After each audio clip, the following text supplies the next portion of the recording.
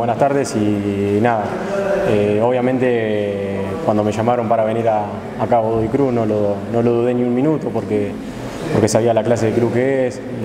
lo que se juega siempre, capaz que hoy en día está en un momento complicado, pero creo que la, gente de Godoy Cruz merece cada fin de semana tener con unas sonrisas y bueno, acá estamos para dar una mano y, obviamente para llevar a Godoy Cruz a lo más alto. Eh, estamos en, obviamente son los primeros días, eh, los trabajos fueron bastante intensos, creo que van a ser siempre así porque Mario transmite, transmite eh, mucha intensidad y creo que eso le va a hacer bien al grupo porque